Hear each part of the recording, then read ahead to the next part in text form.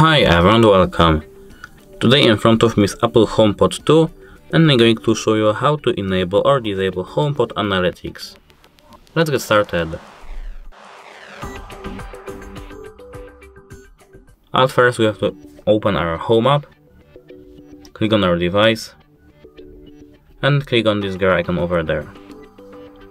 Now we have to scroll down to Analytics and Improvements. We have to click on it and share HomePod Analytics. We can either disable it or enable it. That's it. Like and subscribe for more latest videos and hope it helps you. Goodbye.